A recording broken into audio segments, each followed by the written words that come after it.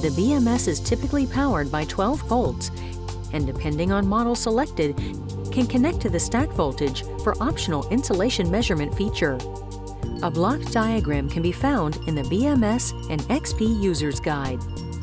The BMS Starter Kit includes the necessary components to connect the BMS to the rest of the system. For BMS LV models, attach contact B plus and B minus of the battery pack to the 2-pin connector. The A-side connector of the BMS is used to connect to the contactor's 12-volt coils. The BMS can control up to five contactors.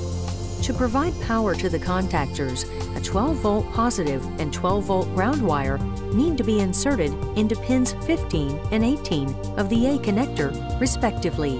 Attach two wires from the contactor coil into pins 9 and 10 of connector A before inserting it into the left side connector of the BMS. The B connector comes pre-wired with a 5-pin battery communications connector, as well as a 4-pin CAN bus connector, used for external computer monitoring.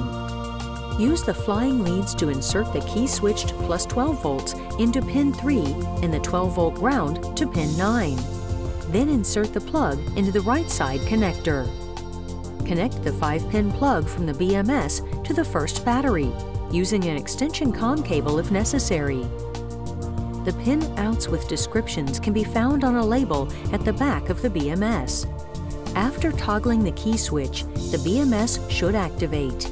The BMS pulls the batteries to ensure that all are communicating and all values are nominal. Valence also offers a BMS which accepts 24 to 48 volt key switched input. This is called the BMS MH and is designed with a blue label. Refer to the BMS User's Guide for more details about hooking up an external SOC gauge, a fault light, an early warning signal, additional contactors, and a host of other options. Consult with one of our application engineers to determine which model BMS is best suited for your application and to provide additional application notes to assist with proper wire insertion.